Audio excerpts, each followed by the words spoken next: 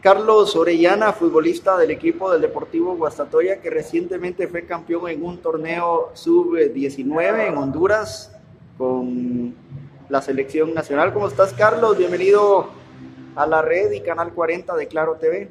Ah, muchas gracias por la entrevista. Primero que nada, agradecido con Dios principalmente, ¿verdad? que es el que nos regala esas bonitas experiencias y el que nunca lo abandona uno. Y a la vez contento ¿verdad? por haber conseguido un campeonato centroamericano que eso habla muy bien del equipo que tenemos en la selección, un equipo muy comprometido con el trabajo, que acapara rápido las ideas. Tenemos un fútbol, fútbol único que rápido supimos entender y más que eso tuvimos la técnica, la, la destreza, la agilidad para hacerlo. Carlos, ya reintegrándote pues al grupo, al cuadro mayor del equipo de Guastatoya, me imagino que trabajando y ya pensando pues en ganarte un puesto dentro del equipo mayor.